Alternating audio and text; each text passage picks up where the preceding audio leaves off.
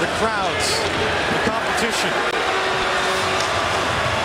Xhekaj on the move, swings over, Mysak scores! And Hamilton starts to celebrate with a 4-0 lead.